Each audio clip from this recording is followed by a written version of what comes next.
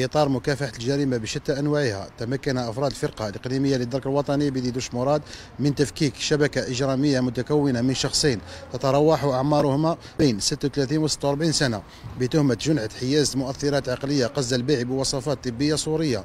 جنحة حياز مؤثرات عقلية بغرض البيع باستعمال السلاح وجنحة حياز سلاح صيد من الصنف الخامس بدون رخصة. حيثيات القضية تعود إلى ورود معلومات مؤكدة إلى أفراد الفرقة مفادها وجود سيارة نفعية تحمل ترقيم ولاية مجاورة يقوم مالكها بنقل وترويج المؤثرات العقلية.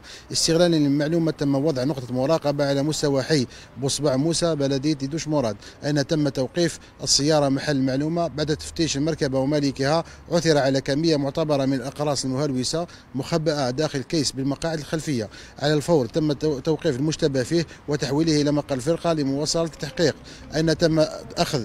إذن بتفتيش منزل من طرف السيد وكيل الجمهورية المختص إقليميا ليتم العثور على باقي المؤثرات العقلية مخبأة داخل منزله.